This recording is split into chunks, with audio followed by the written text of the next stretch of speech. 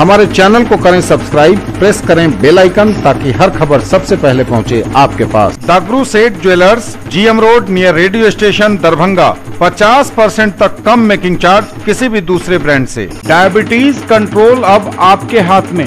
Global health care and diabetes research centre Jesus and Mary school के सामने Ramganj Darbhanga best diabetic centre in Bihar. Your child achieve the best with us mass international school Ekmi road Ballopur Laheria Sarai Darbhanga affiliated to CBSE up to 10 plus 2 level day boarder with transport and hostel facility admission open medical एवं engineering परीक्षाओं के लिए सर्वश्रेष्ठ शिक्षकों में शुमार physics गुरु के के सर द्वारा संचालित आइडियल पाथ नाका पाँच उमा सिनेमा के सामने, दरभंगा।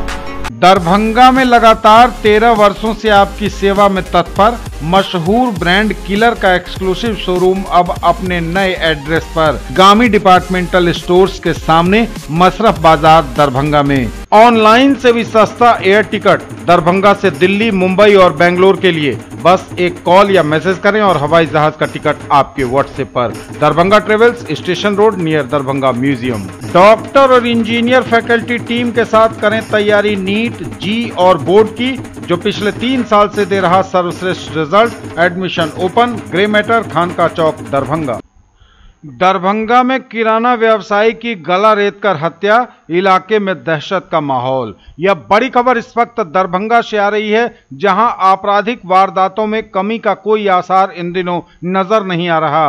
अपराधियों में मानो पुलिस का भय खत्म सा हो गया हो। आए दिन कोई न कोई किसी को ऐसे चाकू और गोली मार दे रहा है, जैसे एक बार पुराने दिनों की याद ताज़ा हो गई हो। ताज़ा मामला एपीएम थाना क्षेत्र का है, जहाँ गुरुवार की देर रात थलवारा सिरनिया पथ में ब्रह्मोत्रा के निकट एक किराना व्यवसायी की धारदार हथियार से गला रेत कर हत्या कर दी गई। इस हत्या के बाद क्षेत्र में दहशत का माहौल है। मृतक की पहचान एपीएम थाना क्षेत्र के मलही पट्टी उत्तरी पंचायत के 45 वर्षीय बेचन महतो के रूप में हुई है। घटना की सूचना पर पहुँची पुलिस ने शव को कब्जे में लेकर पोस्टमार्टम के लिए भेज दिया है और मामले की जाँच में जुट गई है।